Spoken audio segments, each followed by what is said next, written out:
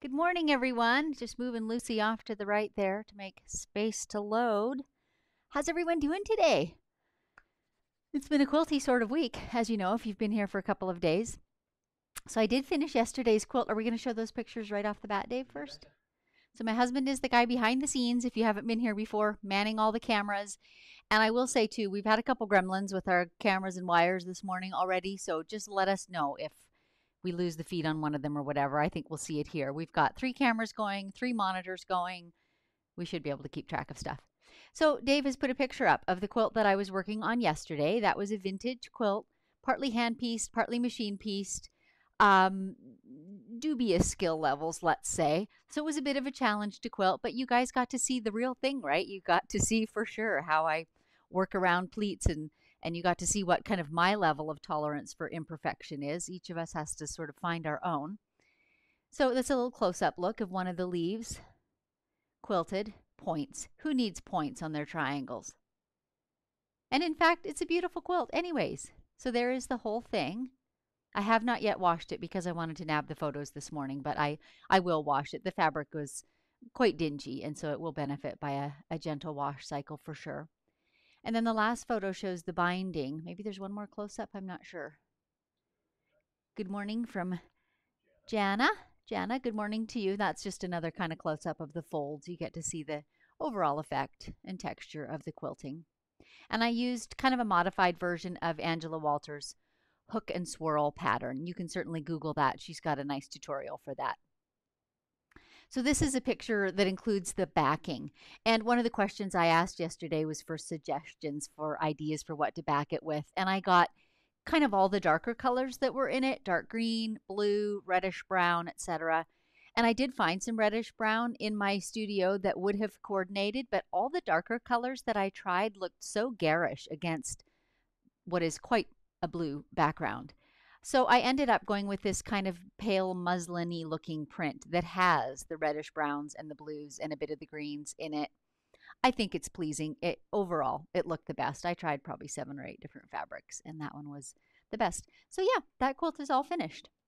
And I'm kind of thinking we're going to do another vintage one today actually. It's it's a very different style, but another vintage one. So I'm thinking I'll finish these two and I'll probably throw them up on my website and or Etsy shop for sale.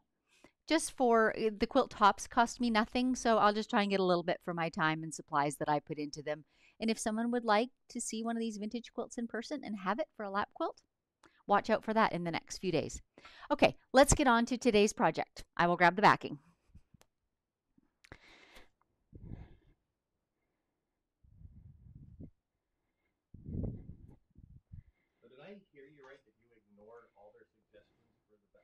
Well, you know, there's there's the old wives' tale, right? About people who ask for advice and don't take it. That would be me. But I was open to suggestions. But honestly, I was the only person here seeing it in person and judging the effect. So had to go with what I judged was good.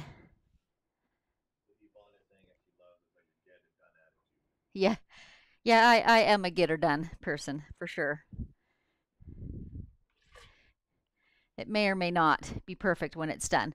However, those of you who were here yesterday saw that that quilt was not perfect to begin with, but I judged it to be worth finishing. Someone will have the joy of a lovely lap quilt, and I feel like I've honored the lady or ladies who pieced it originally. So that's a that's a win in my book. That's success. So today's quilt, I had real difficulty finding a backing from my stash that I thought would be suitable. So I've ended up just using um, a muslin. In the end, I thought that was the most suitable. So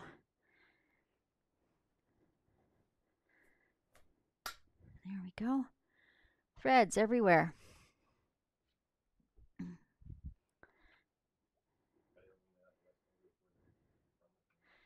Yeah, if you're, especially if you're new today, either way, but especially if you're new, would you let us know where you're tuning in from? Having a hard time getting that straight. There we go.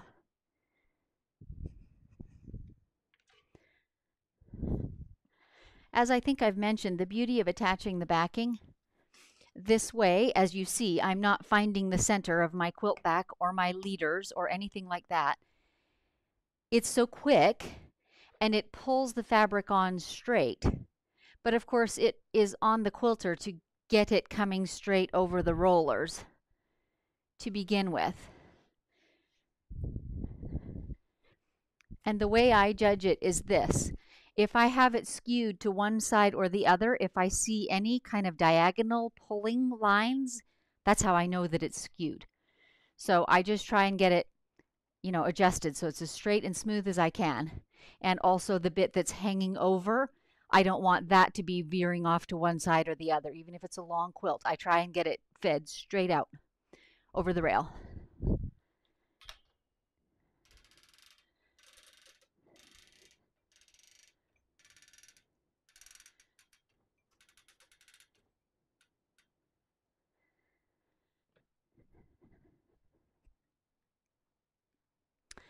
And then too, we get some steps in, trotting around the quilting machine.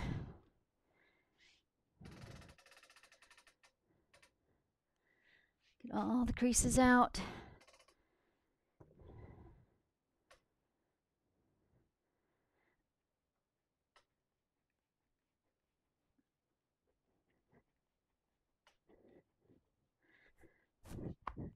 I do absolutely love this red snapper system.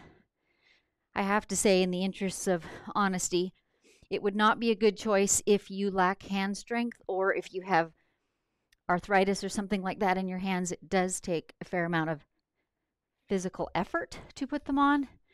But for me, since I don't have those particular difficulties, I love the speed of them.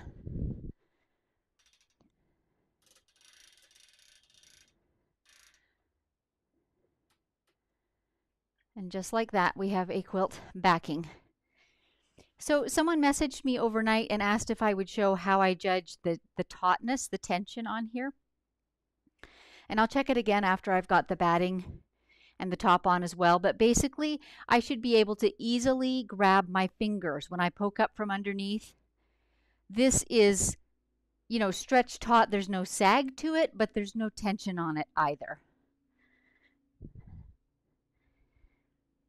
Um, when I, I don't know if you can hear, there's a snowblower going right outside our house this morning. I mentioned yesterday we were getting a download of snow. We certainly did get that.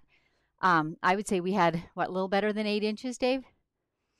And um, I mentioned to you too on the show yesterday that there was a truck stuck on the slope right outside my window. Well, we had a front row seat all day. More people were stuck. I got to help someone push their car out. It's a very exciting day. And now at last you get to see our project for today. This one has stars. I'm wondering, I'm going to turn this the other way. Bear with me a second.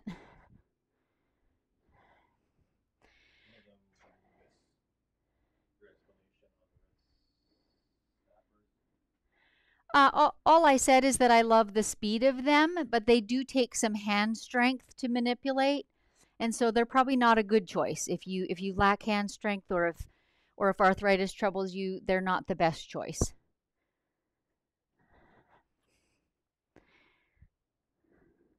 So I'll mention too, as you can see on this quilt, this side is not at all straight.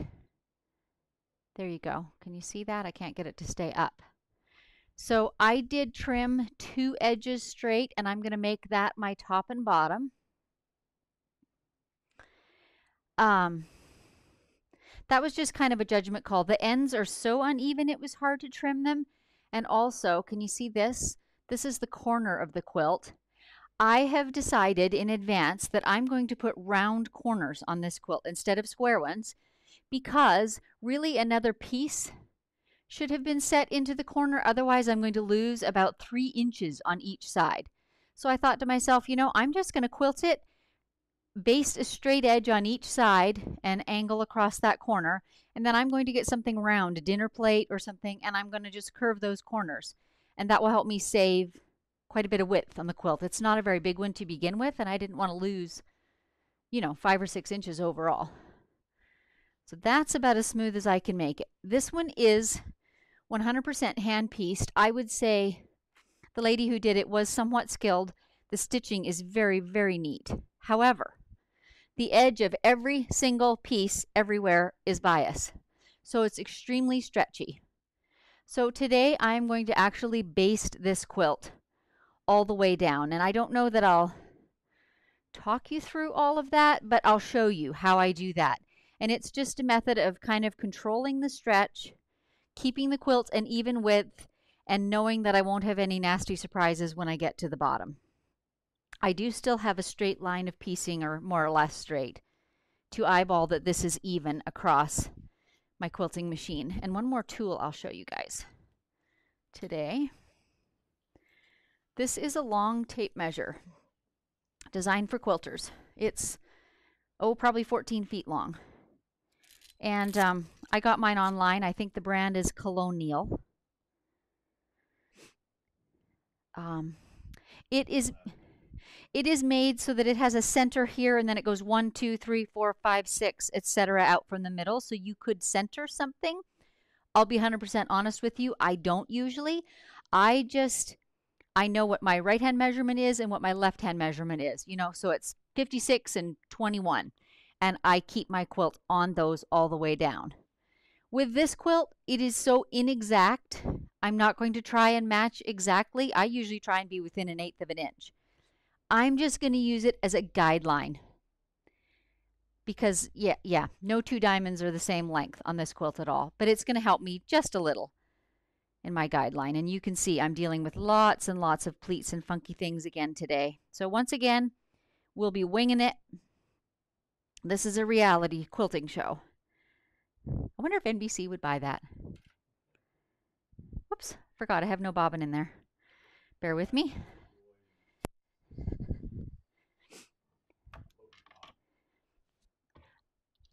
Uh, yes, I do always float my top. Um, I think you probably get used to perhaps whatever way you do it.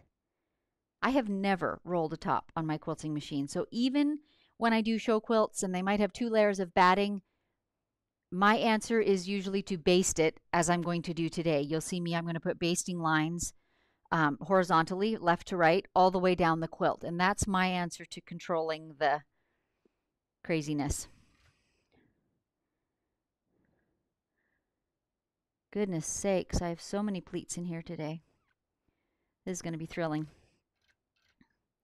Okay, this time I am going to put my vertical channel lock, so now my machine cannot move from left to right, so that I get a perfectly straight line up the side of this quilt.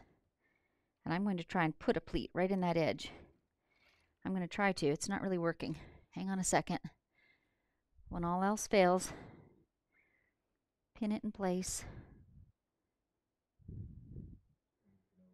See if we can. Hmm, I'm having a heck of a time here. Okay, there's another solution. I'm going to go off the side and come around and stitch back the other way.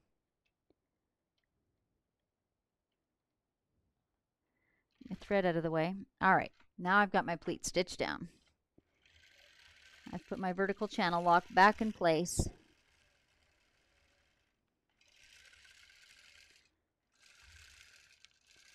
we should gauge the tension of our quilt. Once again, I'll do that for you one more time. So here I'm just going to wing it in terms of my, my basting line. It doesn't really matter because I'm going to be cutting, I'm going to be trimming it off afterwards anyway. I'm just going to get across that awkward corner as best I can. Get to the top. Um, so once again, let's look at our tension. You can see I can push my hand up from below. Dave's going to change a camera for a moment. I can push my hand up from below. I'm just putting my fingers straight up into the bottom of the quilt. I can grasp them fairly easily. I've got this one maybe even a little looser than I sometimes might because I know that this top is all bias and it is stretchy and I do not want to put tension on it because what will happen then is when I release it from the rails, it will curl up and do funny things because those fabrics will pull back into shape. So I'm keeping it a hair on the loose side. I was going to tell a story. When I bought my first Lucy 1.0, my first long arm machine, the lady that I bought it from had had it for a number of years and quilted lots of quilts on it. And she had one hanging on the wall for a reminder. She had put so much tension on the quilt that she actually tore the fabric. And I don't mean undid a seam, tore the fabric. I can't imagine. But I know even well before that, one of the things that will happen if you have too much tension is you will get skip stitches and you will get broken needles. And the faster you quilt, the more that will happen. So it does not do to have too much tension on your quilt. On the other hand, I've seen um, I've seen commercial quilters, you know, have have quilts loaded on their computerized their digital systems, and I've seen them kind of sagging in the middle. I can't imagine how they get a straight result from that, but I don't know. I've never done it, so I can't say for myself. But that does not seem to me that it would work well. This feels like a happy medium. Things are straight, things are smooth and even, but they're not stretched. So once again, I have my horizontal channel lock on, so I'm getting a straight edge on this side of the quilt. Now I'm taking the channel locks off and I'm just winging it across this corner because I'm going to trim it off later. And I will put my vertical lock on so that I get a straight line on this edge. And I don't think I've ever done a rounded corner on a quilt before, so I'm quite looking forward to this. I think it will be a fun little result. There's some more pleats coming. We're just letting them happen where they fall.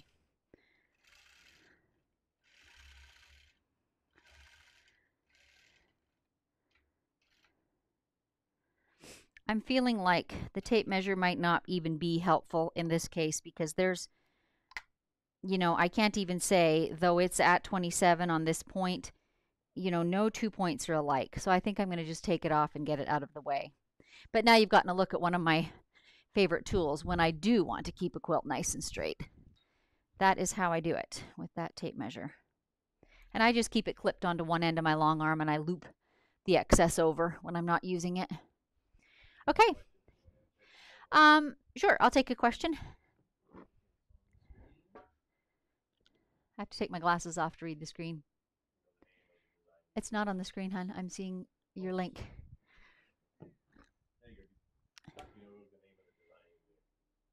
I didn't have much time to search Angela Walters' video yesterday. Design of this quilt, I assume you mean? Oh, the design you stitched out yesterday. Yes, I'm I'm almost 100% sure it's called the hook and swirl. So if you Google Angela Walters, try hook and swirl with her name and if that fails, try hook, because I know that's in the name for sure. And what you saw is kind of my my variation on it. Back to the glasses. Today I'm going to quilt feathers Um, because um, I love feathers. Also because I'm picking designs that are not in my master class so that those of you who have already purchased that feel like you're still getting your money's worth out of it. And also because feathers are perennially popular. And I will mention too, um, I've done a couple webinars as an introduction to the masterclass. And in that webinar, I do a very detailed look at the feather and how to quilt it and how to move around your quilt. And I'm going to do another one. We're aiming for the 9th of January, Saturday, the 9th of January. And I think it will be the same time as these episodes have been. So 9 a.m. PST in the morning and it runs a little over an hour. So it's a really close look at quilting feathers, and that's what I'm going to be doing today. So here we go.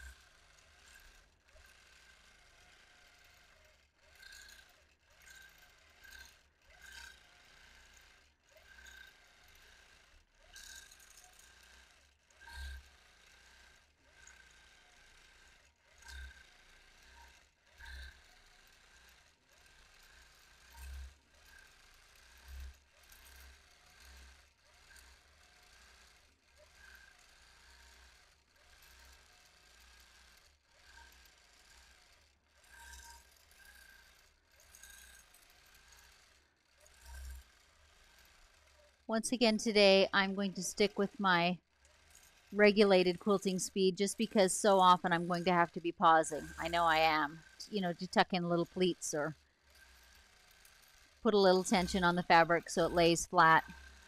Yep, it'll be a little bit of a fiddly job.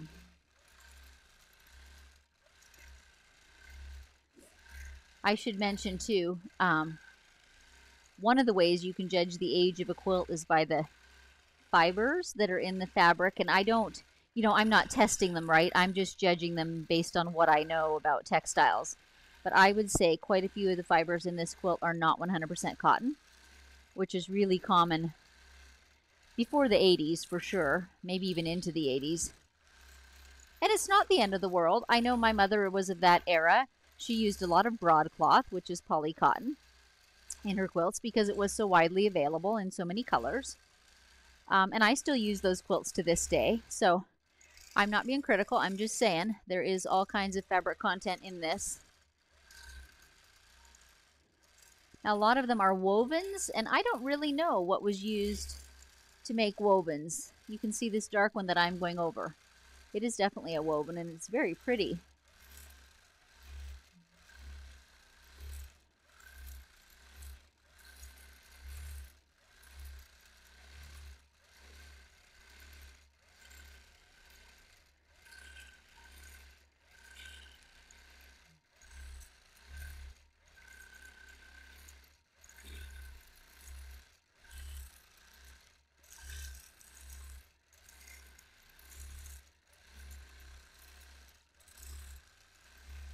One of the temptations, I think, when you're quilting freehand like this is to avoid chunky seam allowances that can be difficult to sew over. And you see I'm coming right up to one here. So I'm going to tell you something I've learned by experience.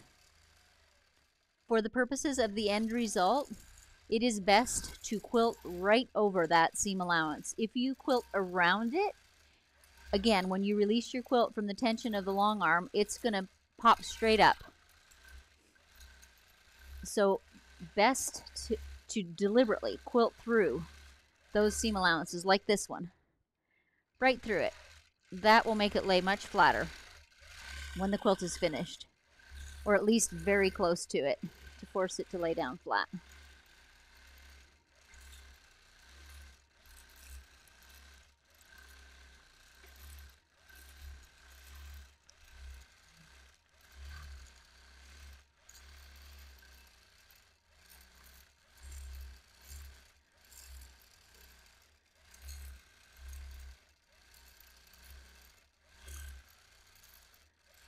There again, I made a small feather just so I could get as close as possible to that little seam allowance.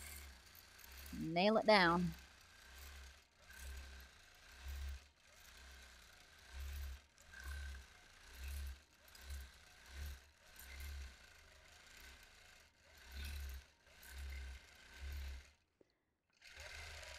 This one's going to be tricky. I got it.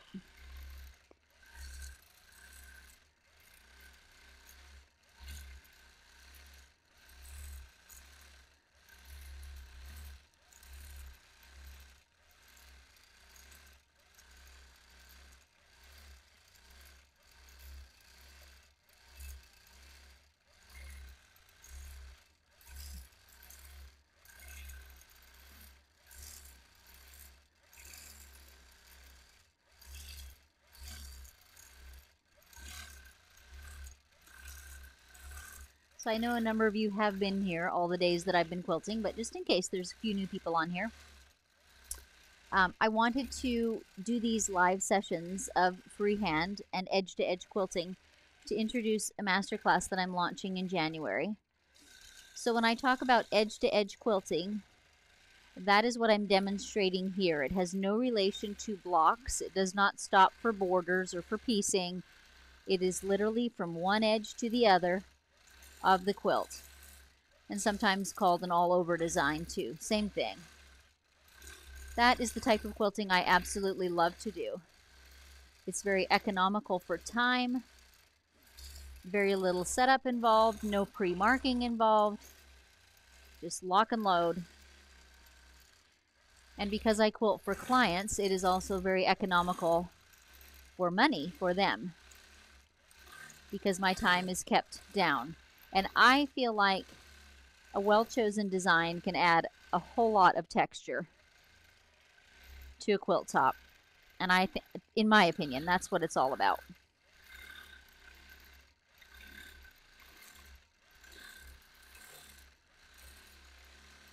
I'm generally aiming for my quilting to be complementary but not the star of the show in a quilt. Consequently, my thread choices are usually as neutral as I can make them. Um, in this quilt, I went quite light with the thread because I think that there's more of the background fabric. Not even 100% sure about that. Um, but in general, I tend to choose my thread sort of middle of the road darker than the lightest fabric in the quilt, lighter than the darkest fabric. Does that make sense? I know some um, quilters will recommend that you pick the lightest tone that is in the quilt. That is certainly a way to do it. But what happens then is that when you go across the darker fabrics, that light thread really pops. And then when you're on the light fabrics, that quilting really disappears. So to me, the middle of the road choice is better for that unobtrusive look that I'm looking for. Um, I think the day before I started these live episodes, I put a little, I don't know, four or five minute video on my Facebook page regarding my thread choices and my rationale behind the choices I make. So you're always welcome to check that out.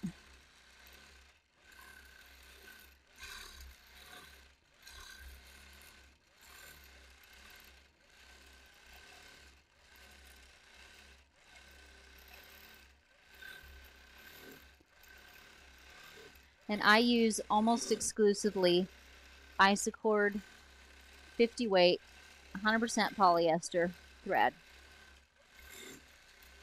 I kind of fell into that because when I first began long arming, I found a lady on, I think, eBay that was retiring from long arming, and I bought a great big bundle of partially used spools from her, and that's what they were as Isacord. But my machine loved it, and I have since tried other threads and not found one that I like better. So one of the things I love about Isacord enormous range of colors. There's, oh, close to 350 different colors of thread. And I love having those choices at my fingertips. So, this is my preferred thread. I do know for sure I do not care for cotton thread. So whatever brand I use, I guarantee you it's going to be a polyester one. Um, far, far less lint to deal with.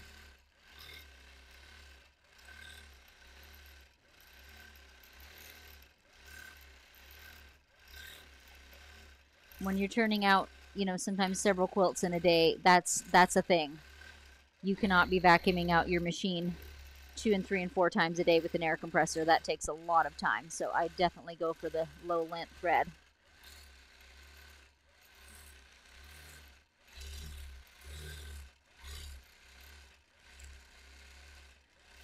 So what are you thinking of the feathers, ladies? Give me some feedback here.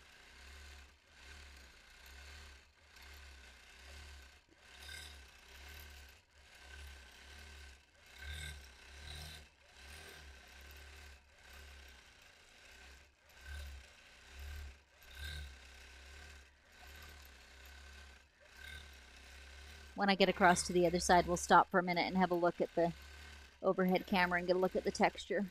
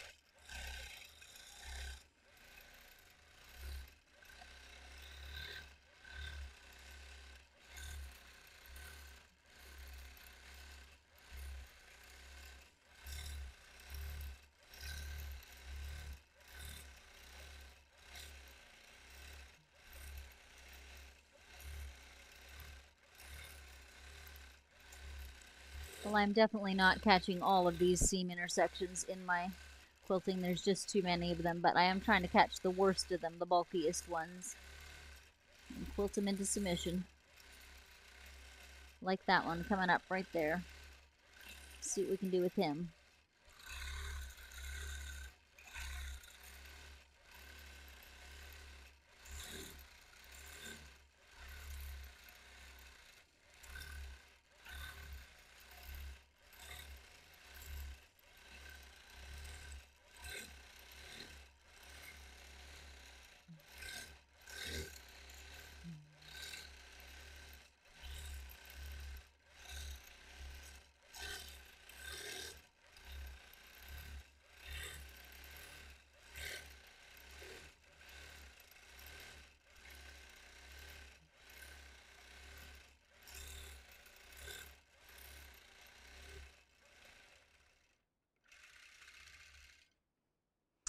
And we're ready to advance.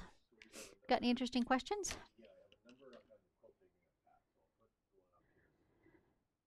Okay. Okay, one moment.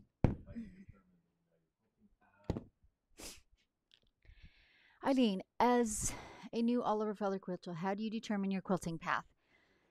Um, good question. And if you want in depth, come to the webinar. Even if you've been there once, come again. and if you're on my email list, um, you'll get notifications of when that will be and probably on social media as well. Um, and if you have not done that yet, oh, this camera over here. Sorry, everyone. Um, if you have not signed up for my newsletter yet, I invite you to do so. Dave will probably put up a link, but for sure it's on the homepage of my website, stitchedbysusan.com.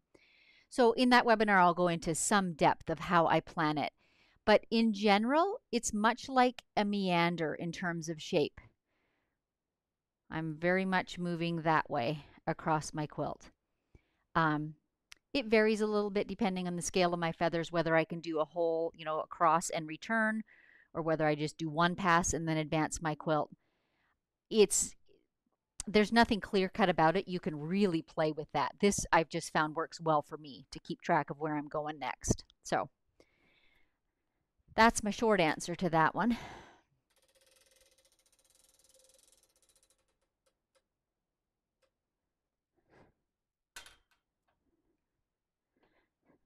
So once again, I've got gentle, very gentle tension on this. It's smooth and flat, but there's no there's no pull on it at all.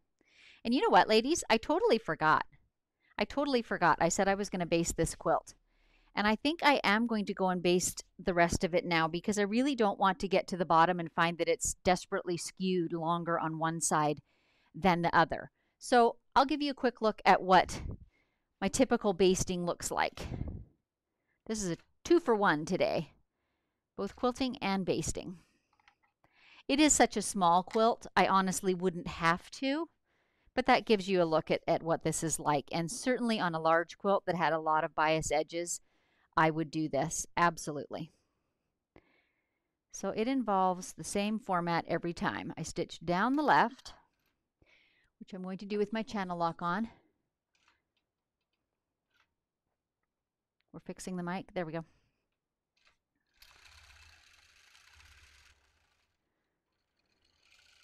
And I'm just doing this with my quilting size of stitch. It could be larger. I don't bother changing it. There's no reason necessarily to change it. And once I get near the bottom of the pass that I could make on my quilt, which is going to be about here, now I put my vertical off, my horizontal lock on. So I'm locked into a straight line this way. You can freehand that too if you don't have the vertical lock. And this time I'm going to put it on a basting stitch, which is an inch long. If you don't have that on your machine, as I didn't on my last one, I literally just went across the quilt hitting one stitch at a time every inch or inch and a half. That works too. So I do put a couple stitches right here in the um, where I'm sitting at the edge so that when I get near to quilting on my basting line, I'm going to want to pull that basting thread out. And oftentimes from way in the middle, I'll just yank it out because they're loose stitches but I don't want to pull my perimeter basting out at the same time. So I kind of do a lock stitch at that corner. And then I'm just going to move across the quilt. And every so often my needle catches like that, so I kind of have to be aware. Yep, today's going to be the day. okay, you're going to get to see the single stitch at a time because my needle keeps, um, when I pause, the needle is down just a little bit and it's picking up the fabric. I'm not sure what's going on there. So in most machines, you can, that's an uh, um, electric impulse, if you will, that timing, and you can change how far up your needle comes. I don't know that I'm going to be able to baste this, actually. I don't want to stop and do that kind of change for you today because it will take time. But I can adjust where my needle, the position it's in when it pauses, because this is not good. Yeah, I think I'm going to give up on that. Sorry about that. But you've kind of got the gist of it. So I would stitch all the way across. I would go back to my smaller stitch length and baste up my usual basting up that side. Then I would advance my quilt and do the same U shape down the left, basting big stitches across and a tight baste up the right hand side. And then as I come to the basting line in my quilting, I will take that basting out.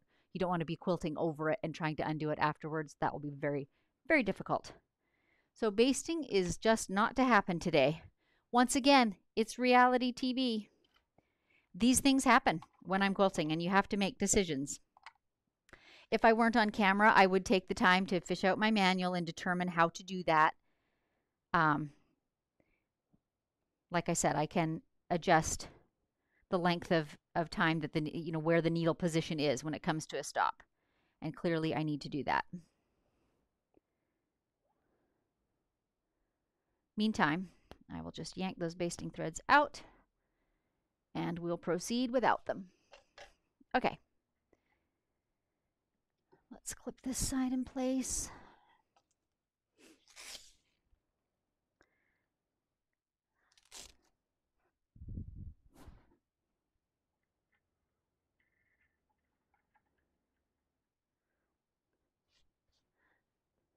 So I'll just use my piecing as a guideline and hope for the best. You know, keeping an eye on my bottom length and things like that will help. It's not going to be awful at the end. If it's off by half an inch, I can live with that.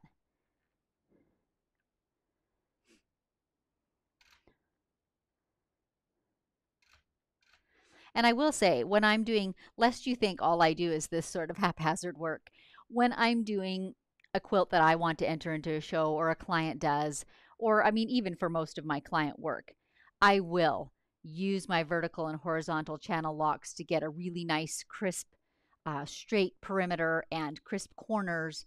And generally, my quilts are within an eighth of an inch of square when they're finished.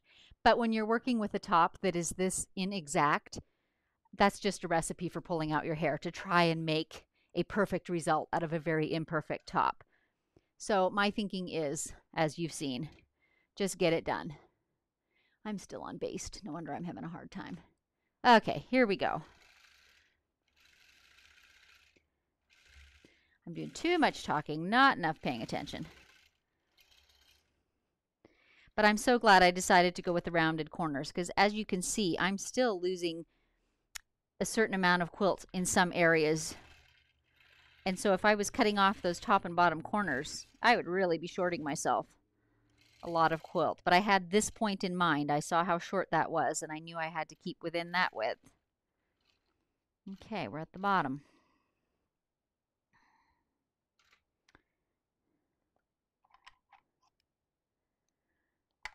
And with feathers, I feel like it's quite important to keep track of which side you are going from. It's also easy to, to visually see.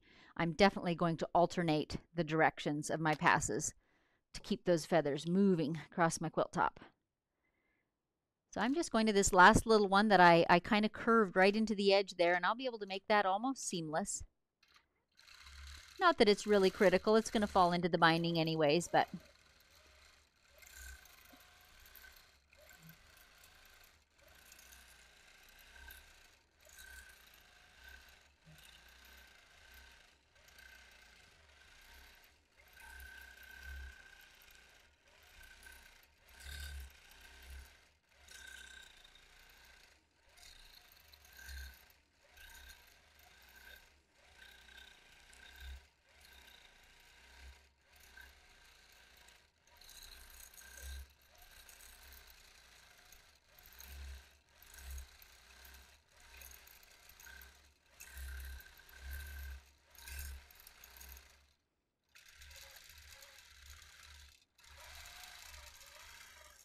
So my goal in this funky place right here was to, you see how there's fullness inside that feather, but I didn't actually stitch in a pleat.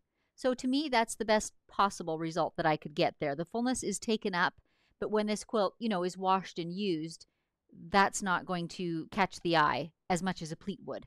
So I've avoided the pleat and I just used my other hand, my fingers, to get that bulge of fabric in there. But a bulge is better than a pleat, in my opinion. Just going to stitch right over. Oh, someone from Bangladesh today. How awesome. So I'm just curious. Are you able to find the same types of long arm machines that we have in the US, or do you have other brands perhaps that we don't know about? Or do you quilt on your domestic machine? Or some other type of longer armed machine.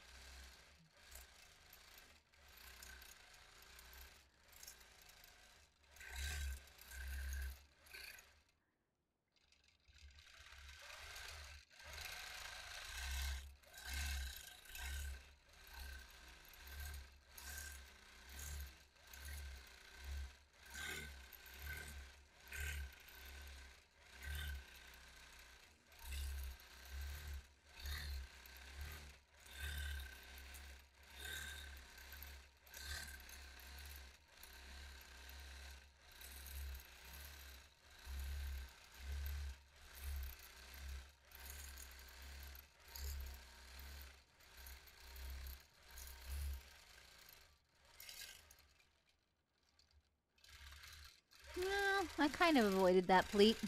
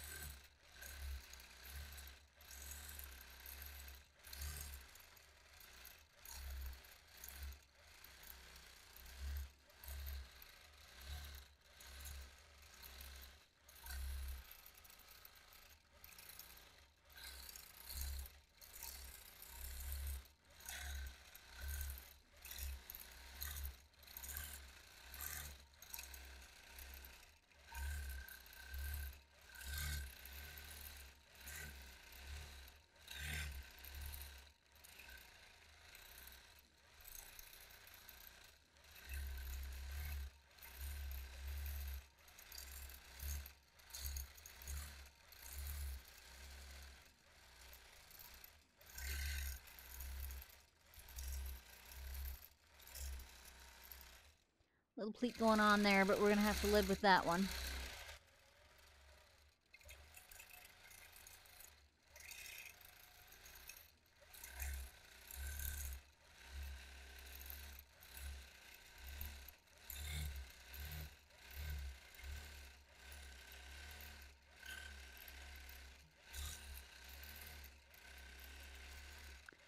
I will say, as regards my quilt path, I hardly ever go in a straight line. So hardly ever just alternate left, right, left, right. I almost always have two lefts and then a right or more or three or four. So you can probably see that if you're watching while I'm quilting. I think the straight progression looks very awkward, so I aim to have it always curving this way and that.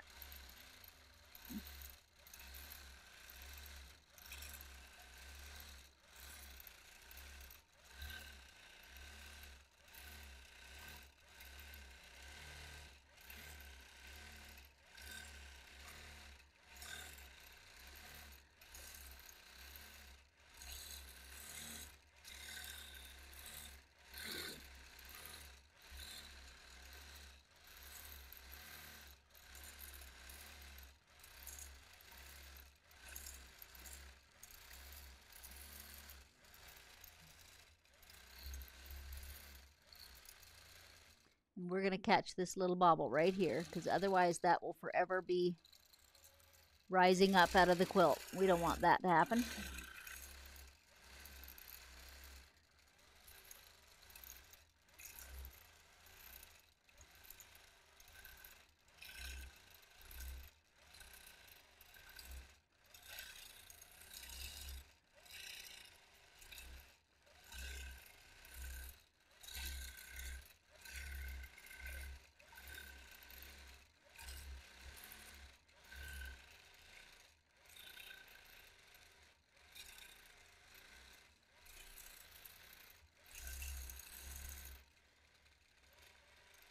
Didn't do as well there.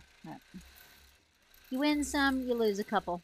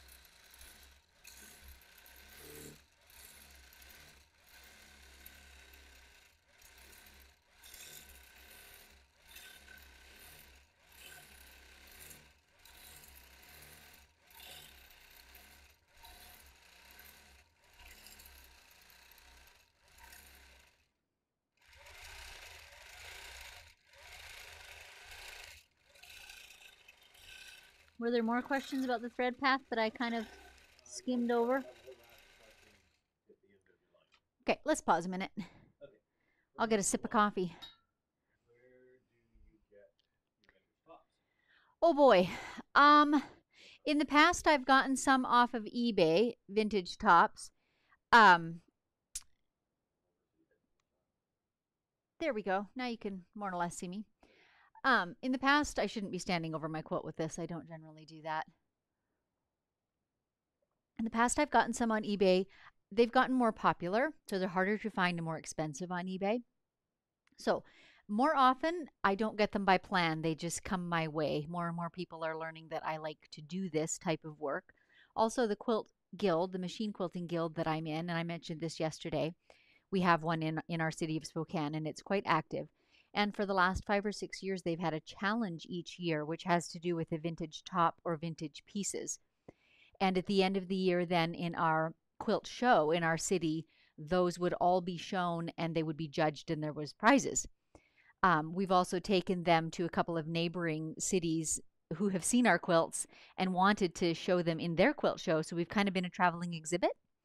So I've done that a few years too. So now that it's kind of getting around that we as a group and I personally really love to do this kind of quilt tops. I'll occasionally just have a friend say, you know, I've got my grandmother's top and I don't want it and I don't know what to do with it. Here you go. I've had probably four or five given to me that way. And sometimes I just get lucky.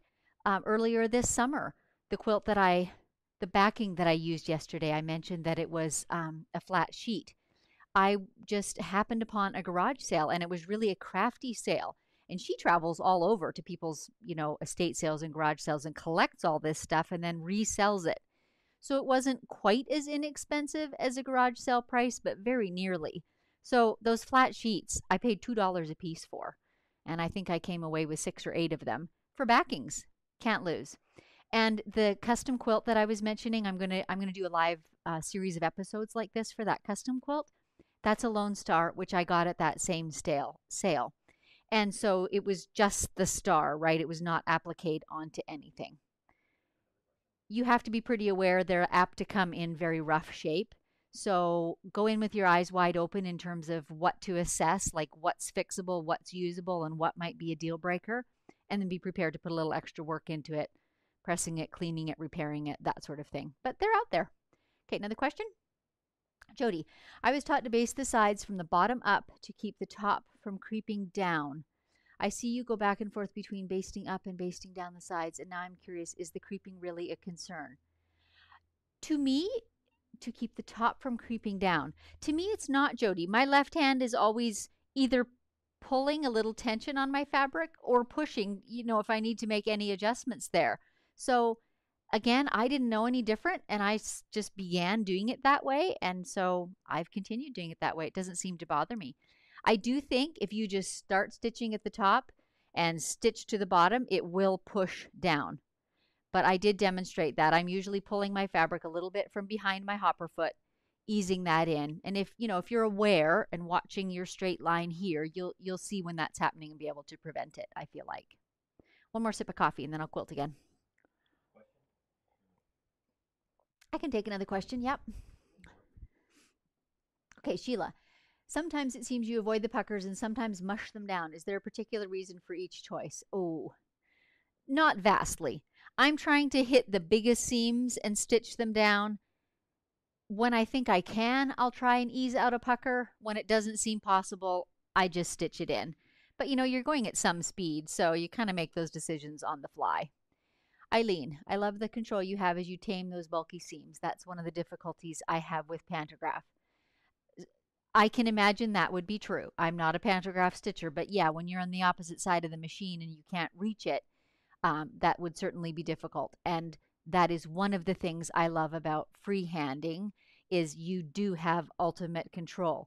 So whether it's a seam that is too bulky to stitch over or whether you have to turn your automation off and, and, and turn your flywheel and go through it one stitch at a time. You know, all those things. You're right there. You're right in control and you can do whatever you need to do to make it work. So that's one of the reasons I love freehand stitching. Okay, here we go. Another pass. We have room for another one in here before I advance.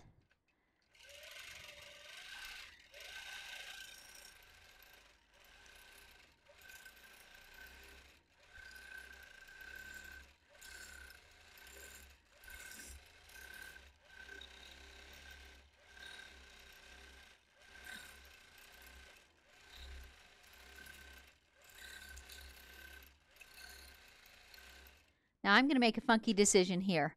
I didn't see that. I had not stitched this seam allowance down and I've got a big feather in front. I'm still going to go in there. I think that will look less awkward than leaving it loose. And that's not a right or wrong decision. That's just a personal opinion decision. It would have been fine done the other way too, I'm sure. Okay, once again, I got to run for a tissue, ladies. Yesterday, you notice I didn't blow, I just dabbed. Okay, okay we're back in business.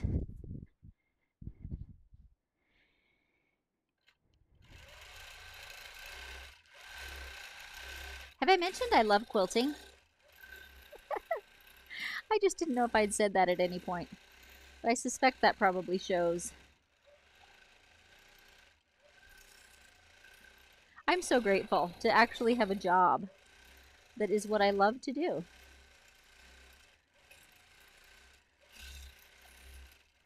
Let's see if we can't sew that one down.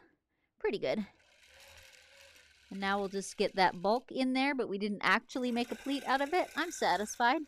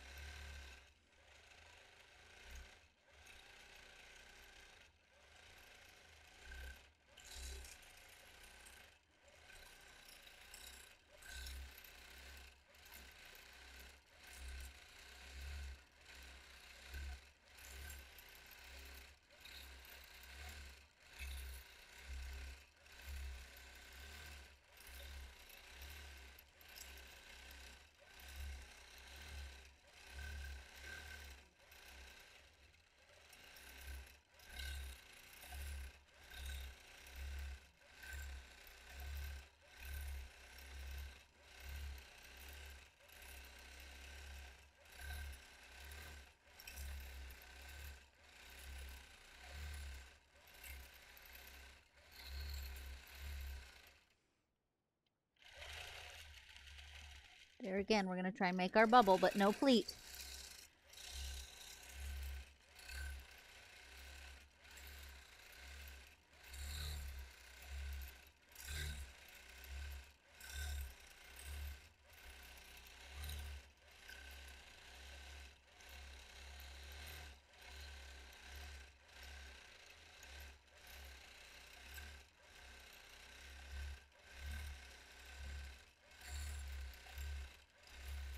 This design is definitely another example of using curves to do some of your work for you.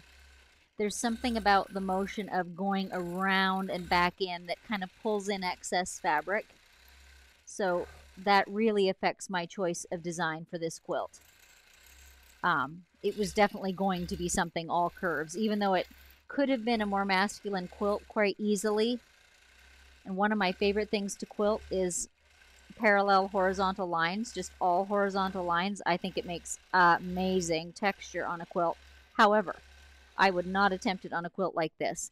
It would just serve to emphasize all the irregularities, all the puckers, all the odd places because it's so sleek and contemporary. So think about that when you're choosing your design, especially if your quilt has challenges built into it as this one does. Use a design that will help you, not frustrate you.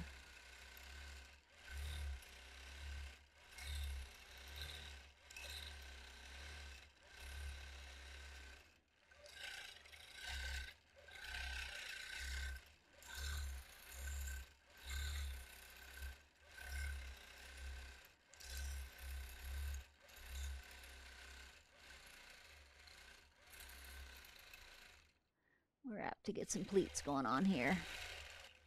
There's a lot of fabric there going on.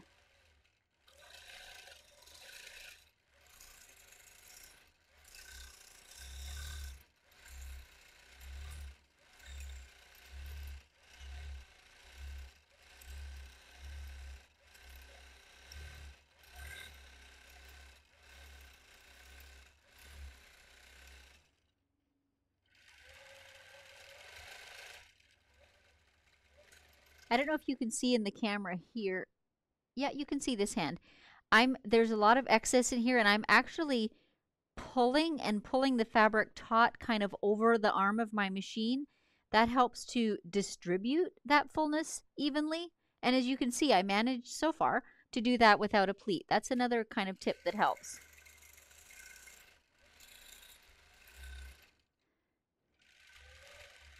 Some quilters call that the bean can technique. If you've never seen that one at work, it's kind of neat. If you've got a whole quilt that's got fullness like that that needs easing in, you can actually put some type of canned goods on both sides of your, I'm not even sure what the term is for this, the bar of your machine. And just that little bit of tension will help it um, distribute the fullness. And if you put your cans this away, they will roll as you are quilting. At least the one in front of you will roll out of your way. And just that little bit of pressure can make all the world of difference. So that is a really low-tech fix, but I encourage you to give it a try. It, it really works. And so I was doing exactly the same thing, just on a smaller scale with my fingertips. And it certainly does not need to be a can of beans. That just, whoever first coined that phrase just thought it sounded funnier, I'm sure.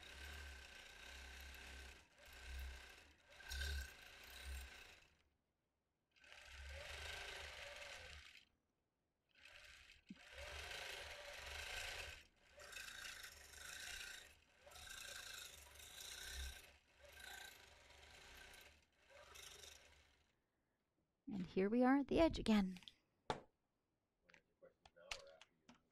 Um, uh, I'll do them now. Quilt design to do? Oh boy. You know, it changes from time to time, but at this moment, it is feathers. These all over feathers.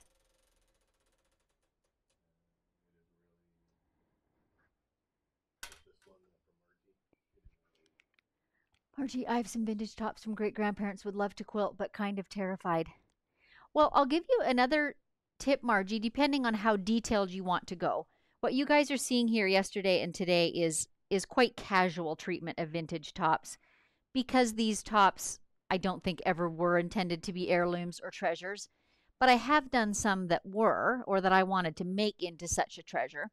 So I have a class that I offer called Treasure Hunt. And number one, I've done it in some um, online quilt shows. Am I in either camera, Dave? Okay, being straight on, because I'll talk about this for 30 seconds. So I offer this class called Treasure Hunt, in which I talk a whole bunch about you know, assessing the top for damage, for tears, ways to clean it, ways to mend it, types of fibers of batting or thread to use, you know, to add to it. Lots of quilting ideas and lots of pictures from the Machine Guild um, competition that I've been in over the years. So that class is called Treasure Hunt. I offer it in online shows, and it also is listed on my website under classes so that if you had a guild or a group of people, because obviously everything's online now, right? So if you knew of a group of people that wanted to do that, I would host that class. So it's lecture style. There's notes that come with it and places for you to add in notes as we go through, and it's about an hour and a half long. So it's all about everything I have learned over the years of working with vintage fabrics and tops and pieces. Some of the quilts I've done have not been an entire top, they've been pieces, and then I've added my own design and my own fabrics to them to create a finished product. So, yeah,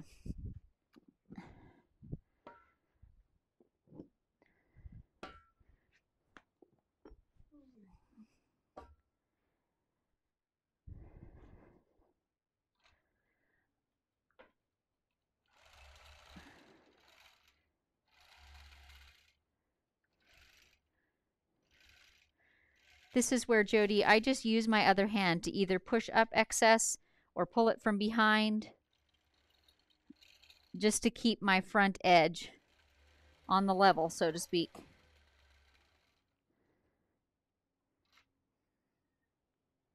There are so, so very many things in quilting that are, you know, a matter of personal opinion or experience or what you get used to. I just would hesitate to say that there's a wrong way. I think you should try different ways. The red snappers are a good example. Some people love them, some people hate them. So, you know, it's what works for you. Some people baste their quilts horizontally and vertically before they begin custom quilting. I have never done that. I've always thought that's way too time consuming for me. However, for some people, it's worth the time. So, experiment.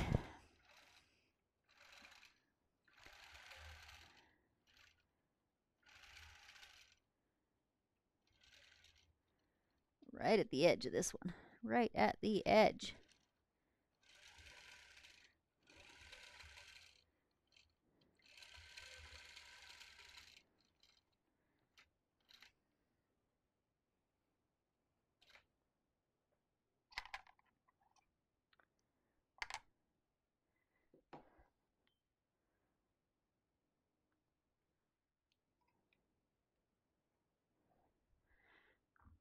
Again, with my strapping on the side, I'll just move Lucy out of the way so you can see it a little bit. This is the end for which I don't have a bar. It's broken, so I've just got two separate clamps. I'm careful not to pull those too tight because the quilt is bias and could easily stretch, and then I'm going to get a funky shape, you know, on the side there, and I don't want that. So I, have got it, you know, just so it's pulled flat, but there's no curve in my stitching line. It's not pulled taut, if that makes sense. And you may have noticed that I'm starting stitching from the right hand side each time, but in fact I'm doing, you know, a U curve to get back here. So I'm still alternating the direction of quilting my feathers. So after this pass, there's just a few more inches. So it's a small quilt.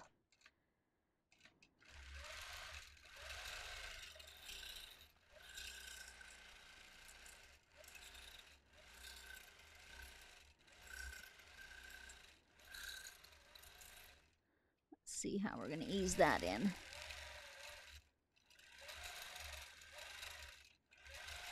Not too bad.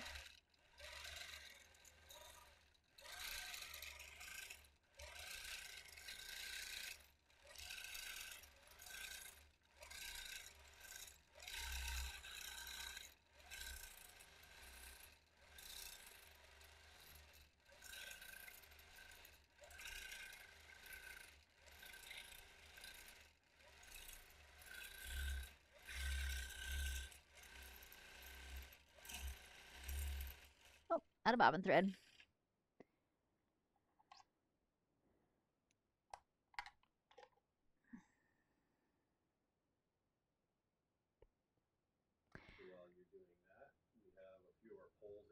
for New Year's Eve. Nobody likes a crowd and loud. Nobody likes a crowd and loud. I'm not the only one there. Forty-five percent is a small affair with five votes. Number two, with four votes. Good folks, if I thought that it made it two votes. Nice. Well, you know, there's room for all of them. And of course, I wasn't meaning particularly this year because I don't know of anybody that's having a loud and crowd one today. But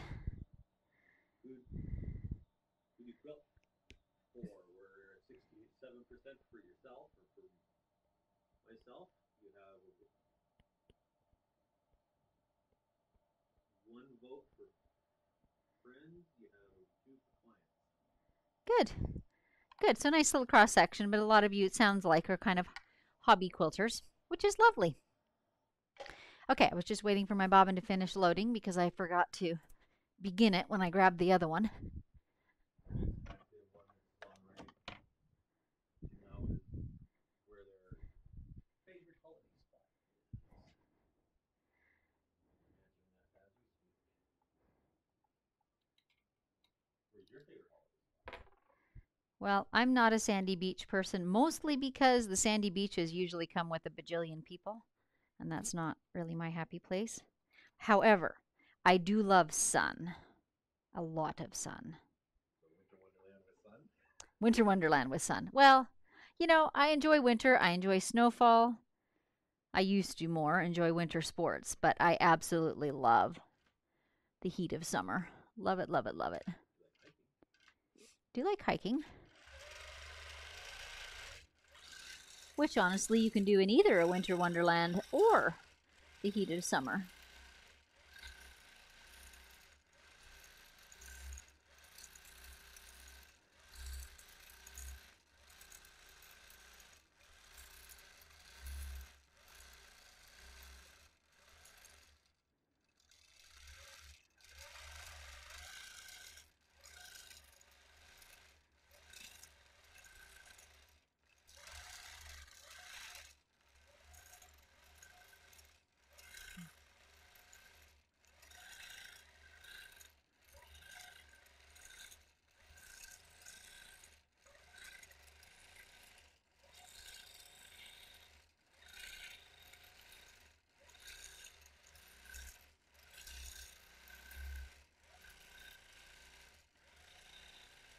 One of the things that I know you cannot see on camera is developing your peripheral vision. that is not a good look. What are we going to do there? We're going to put a tiny echo inside that feather. I don't know if that was an improvement or not, but that's what we did. Anyway, what you cannot see on camera is that I am constantly, I'll just demonstrate for a sec here and hold still.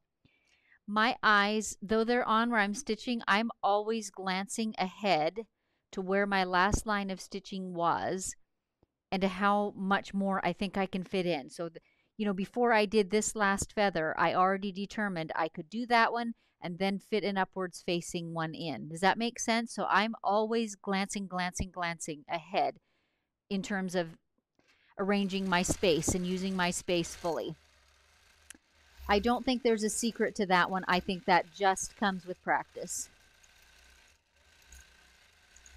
But it's good to know that that is something that you want to focus on because that really helps. So you don't, you know, lay one feather down and then all of a sudden say, oh, shucks, there's no room to fit one in above that.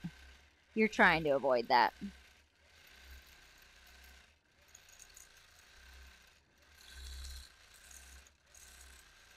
So here, I've already looked above and I know I need to be able to make one row of feathers to work my way back out of here. So that's what I'm going to do next. And I find I have plenty of room, so I'll drop one in sideways.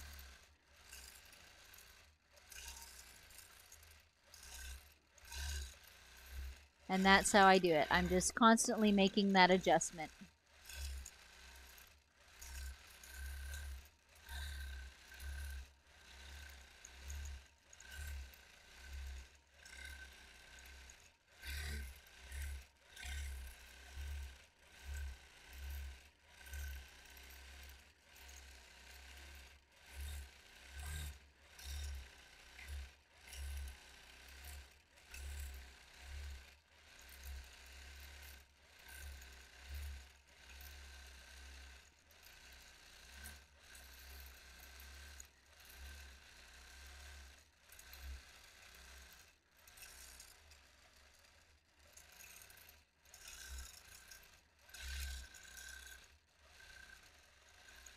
There again, I'm going to put a little echo in there. I just feel like if that point is left loose, it's going to annoy me forever.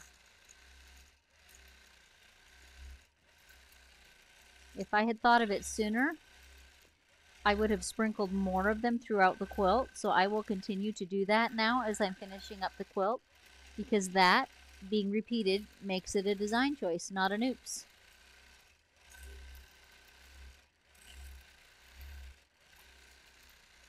So now that I've done two, I'm going to make a point of doing more of those as I finish up the quilt.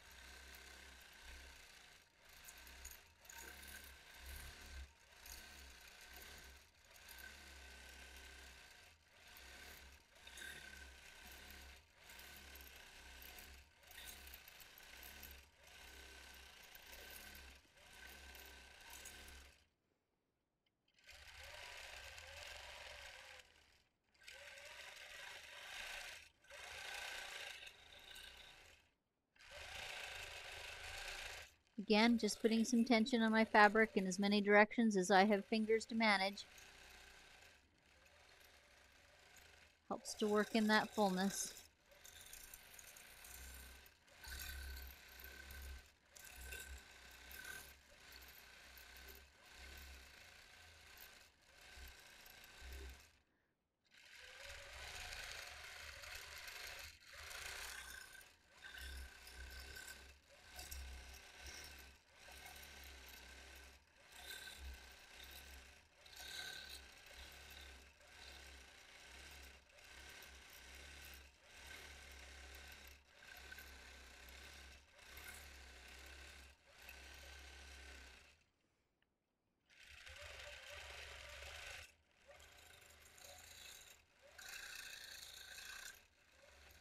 There's a little echo again.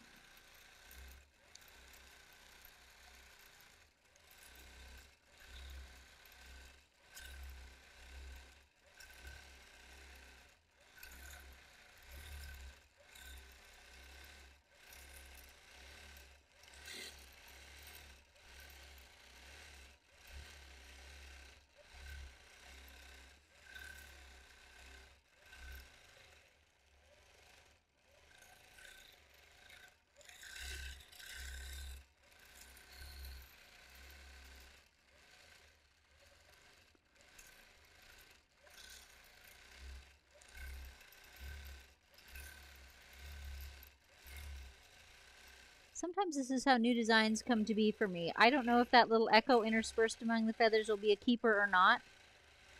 But I'll think on it for a while, look at my quilts a few times, decide if I like that. And that may be something I incorporate more, or it may be something I decide, no, don't really care for that, won't do that again.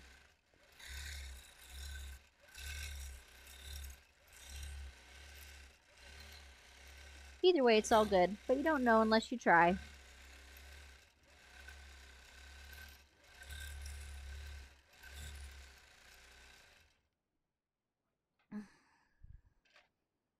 Whoops. My machine is so funny sometimes. It, uh, if I push my button off and move my machine too quickly, the computer does not, does not communicate. Give me a moment here. There we go.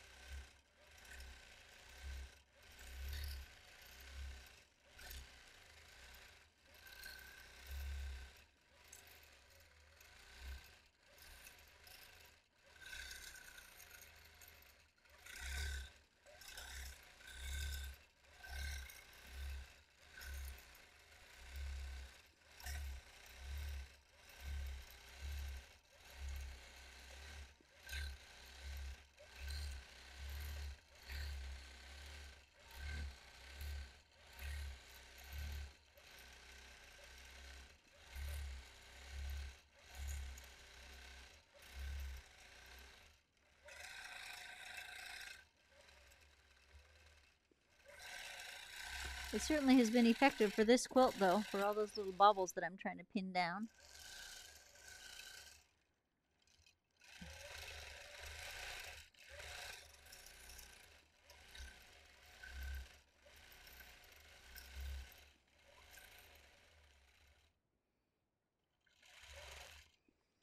Yeah, not very beautiful, but it'll do. I just did not see a better way around that one.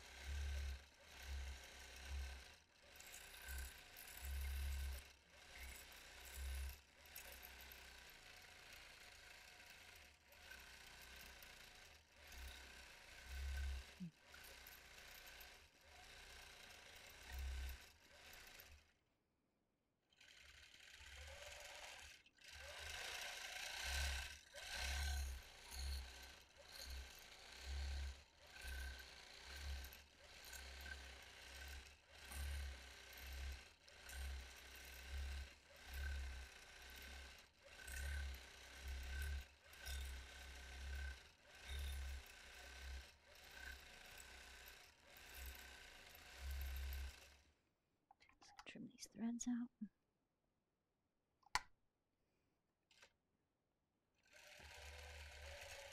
Pleats in here too. There's just no avoiding it. I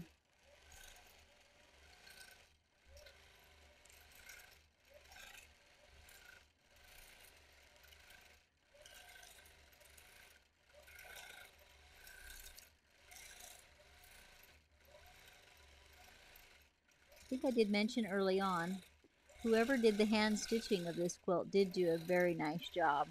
Seen from the back, the stitches are beautifully even and neat. He's got better handwork skills than I have, and that's a fact.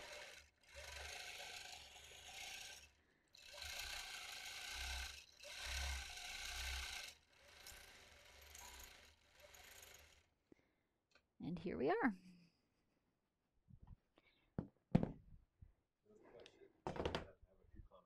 Okay. I'm ready. Here's the first Colleen, I like a winter wonderland from inside my warm house by the fire. Too true. Used to love hiking, but my knees don't like it so much anymore. Yep, nothing like a fire. Oh, Donna. Hi, Donna. Donna and I used to be neighbors once upon a time. We lived about three houses apart. Susan the Quilt Whisperer. Once again, you take a nice quilt top and make it stunning. You really are amazing. By the way, my son, son in law, their wives, and all the family. Oh. Dave's going to bring the comment back up for me cried when the two quilts of valor were opened. Aw, that makes me happy. It made for a precious memory and a moment of joy. Thank you for your part in making my quilt tops into heirlooms. You are so welcome. So I recently quilted a couple of quilts of valor for, as you see in the post, Donna's son and son-in-law. And I actually, I should post some pictures of them. I've waited because I knew they were Christmas presents and I didn't want to jump the gun and put anything on social media. But I will do that in the near future.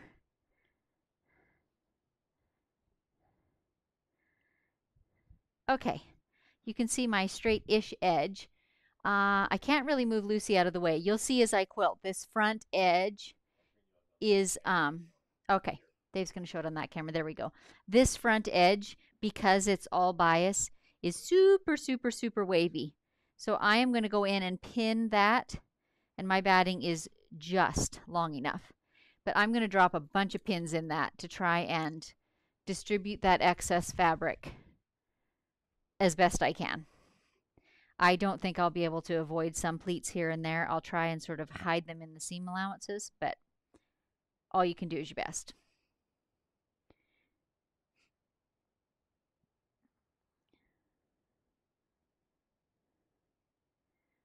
There are inches of extra fabric here.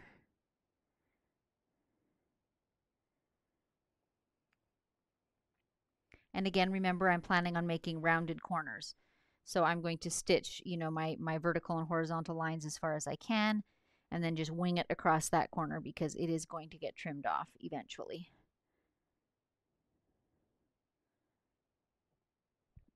So there you go. That that will all, you know, even in there, more or less.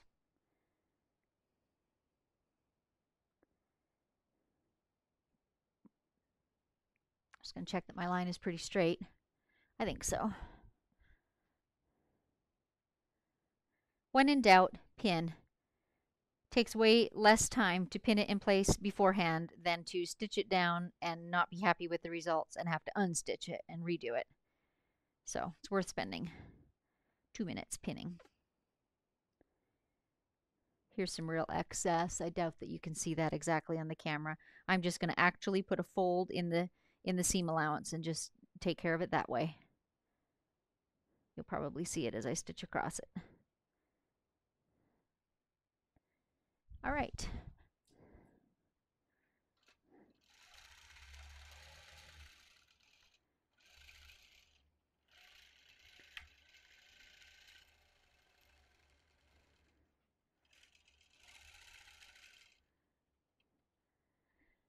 I think I will put my horizontal lock on. I do want a nice straight edge across this bottom. I'm going to also make my stitches a bit larger.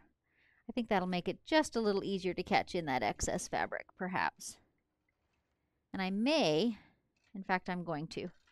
I'm going to stop and start again at the other side, only because it's backwards for me to be manipulating the fabric with my left hand. And once again, it's worth the two seconds it takes to change that out and it'll be much easier to have my, you know, left hand working on the left side.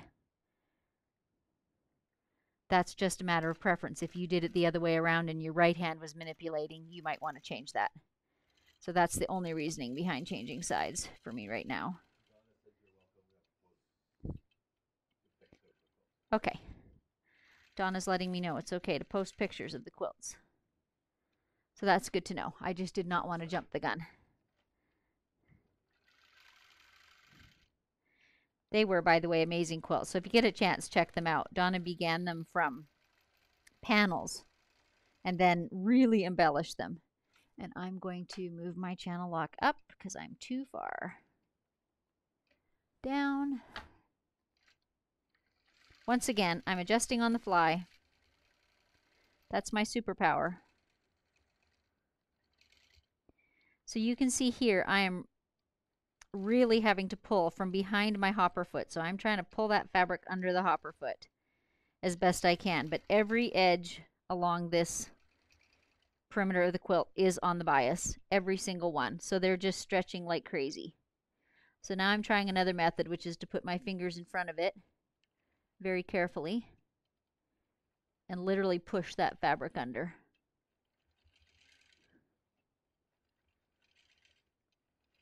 And I do stitch across my pins. Ask any two quilters and you'll have three opinions about that. But I find that if I'm going slowly, as I obviously am right now, I have never broken a pin or a needle. Knock, knock on wood. And I'm just forcing that excess fabric under there, but it hasn't done too badly for pleats. I'm just going to redo these and pull them down a little bit further. I can manipulate this quite a lot just because it is on the bias. And I'm going to undo a few of these first basting stitches that I had. Bear with me a second.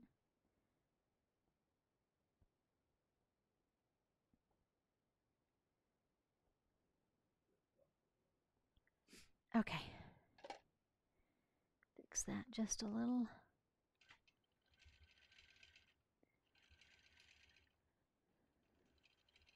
So I'm just pulling that fabric toward me a little bit and then just mashing it under the needle.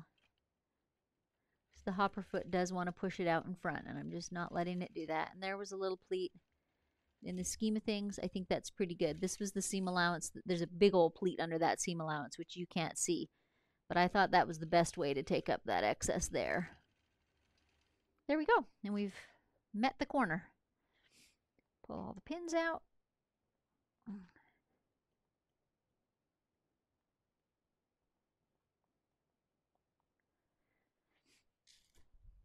Some tension on the fabric. I'm going to catch the nose again. I don't want to be sniffing into the microphone continually.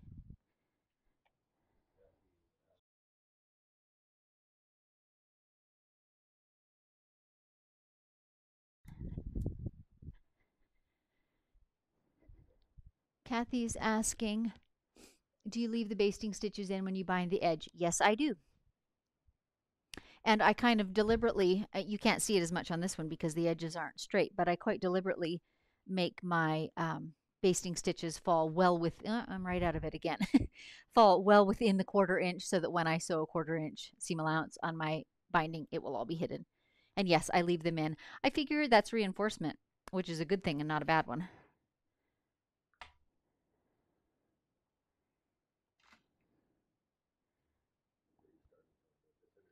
I'm going to be starting from this end. And for the one or two of you that do um, quilt for clients, that is one of the services that I offer. I have a secondary, really it's a storage room, but just an empty room um, just off my studio. And so I have tables set up in there and, and a rotary cutter and mat.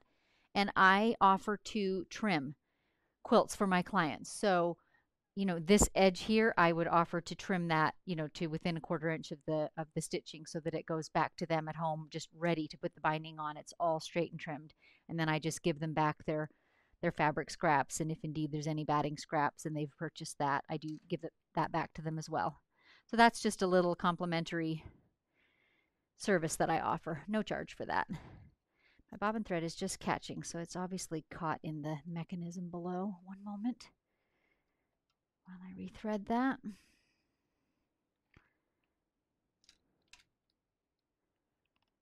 And now I have to put my stretcher back on straight.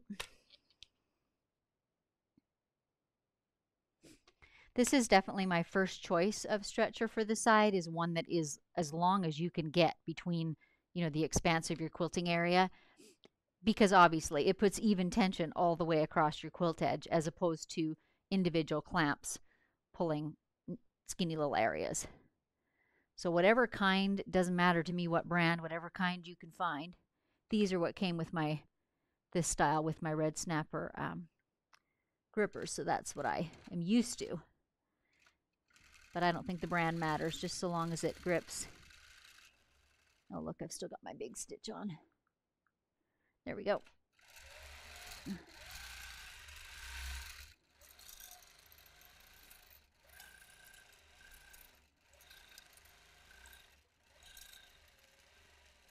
Here comes our little echo again.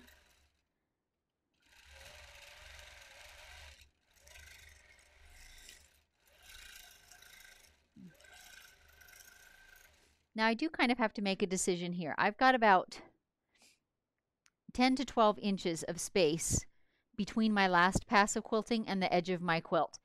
I think it would be fairly awkward to try and cover that all in one pass. So I'm going to make the decision to do two fairly skinny passes. Again, no wrong way. You just decide which way you want to do it and go with it.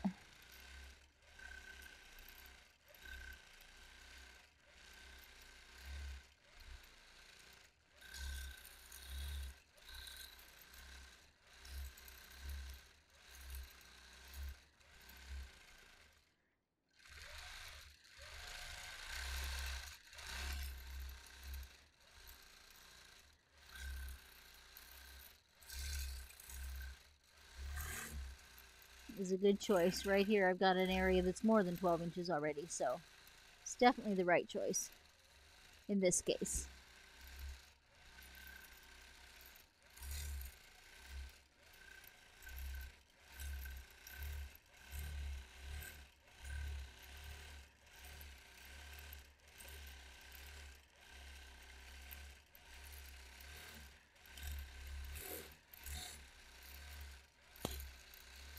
Going faster. I see the finish line.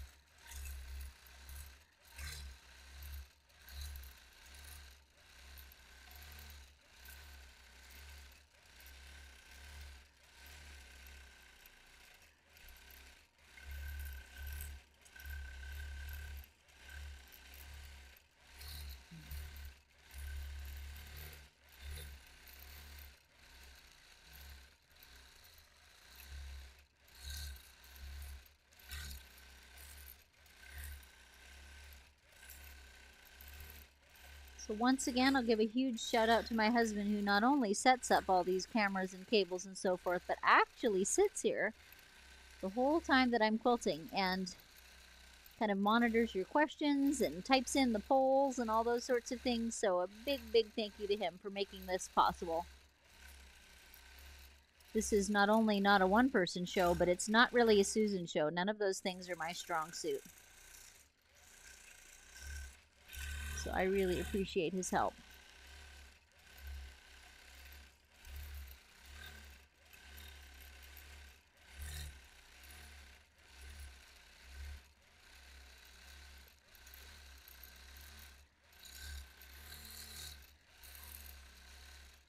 Well, I hope these days of quilting together have really inspired you to take the bull by the horns, so to speak and dive into some freehand edge to edge quilting. It is so satisfying, and I hope I've been able to take some of the hurdles out of it for you, address some of your hesitations. We won't call them fears, they're not quite that severe, but some of the things you're nervous about. Hopefully, I've been able to answer some of those questions.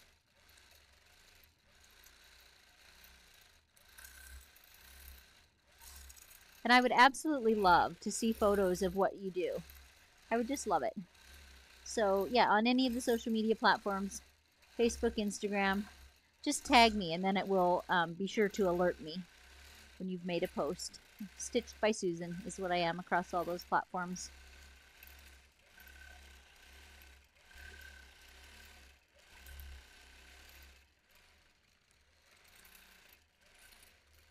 Another little double.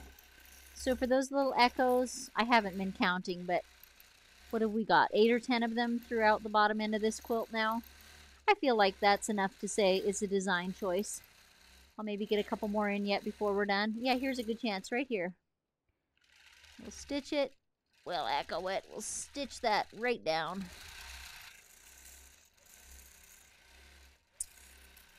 Yes, yeah, so if you're interested in my masterclass, lots of information on my website. There's a page dedicated to the freehand masterclass. It's got the full um, curriculum, what's coming in every module, what you can expect, what your sort of expectations of learning outcomes might be, that sort of thing. If you have any further questions, reach out to me. You know where I am now.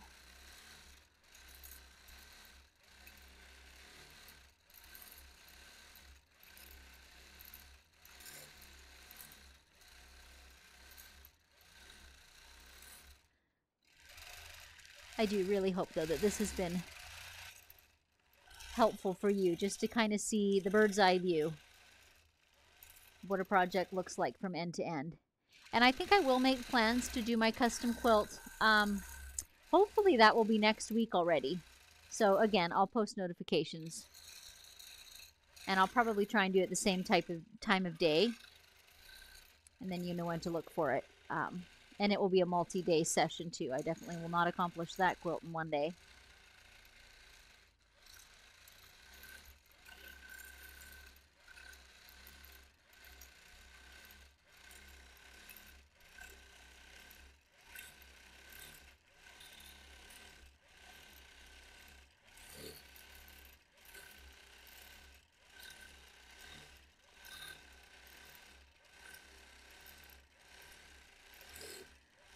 Just to show that you don't have to do what's expected and end in the corner of the quilt, I'm not going to.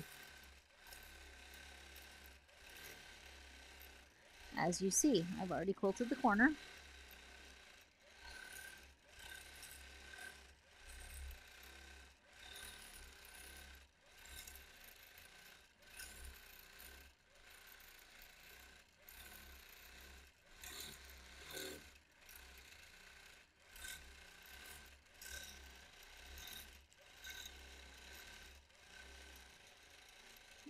More little echo.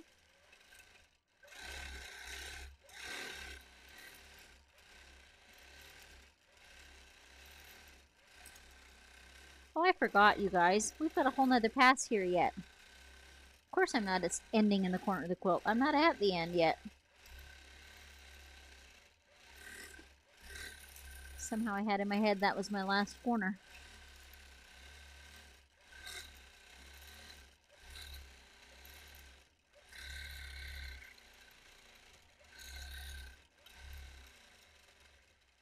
Another little echo.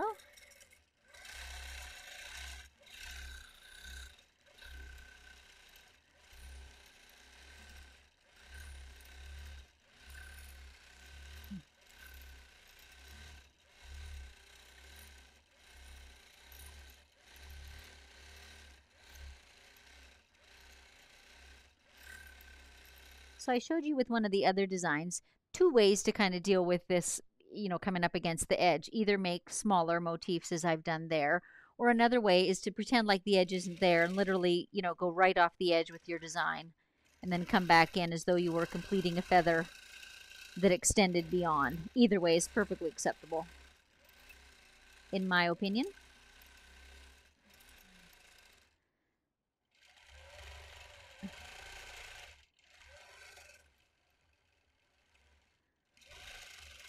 You can see there how stitching right through the center of that seam allowance is really the only solution there. Otherwise you will forever have a bulge or a pucker.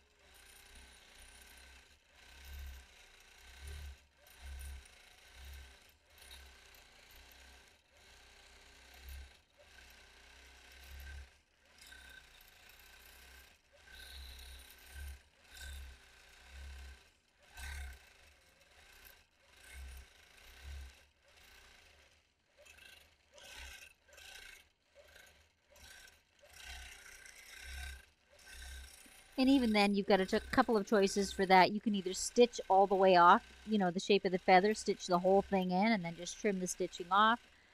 Uh, if you have a hard time visualizing it, you could draw the actual feather in place there, whatever works for you. If you want to keep it looking like a continuous design.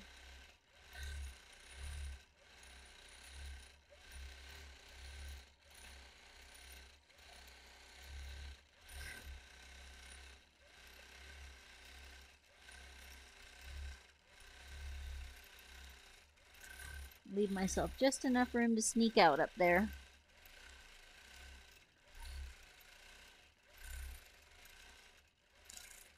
Lock my thread, and we're finished. Oh, my computer, of course, has to act up on the last stitch. Silly thing.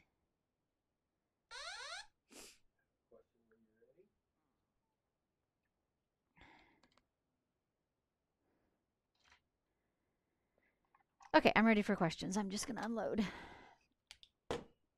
Sheila, do your relatively short up and down runs of feathers show better as the design than if you were to make them longer runs?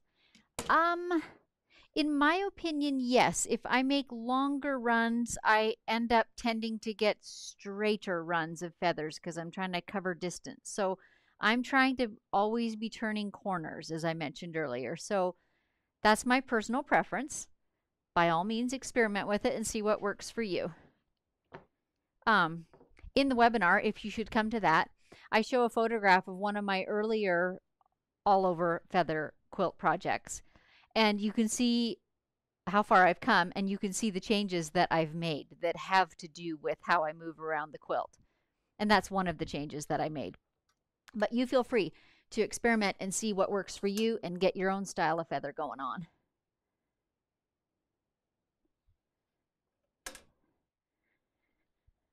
Uh, one second here. Okay, the great unveiling. And as I mentioned at the beginning of the class, I'm thinking I will bind this quilt. And I already did the one yesterday. I'm going to give that one a, a gentle wash. Um, and I think that I'm going to list both of these on my website for sale. So if you're interested in a little lap quilt, really all I want out of them is a bit of something for my time and the materials I put into them. I didn't purchase either top.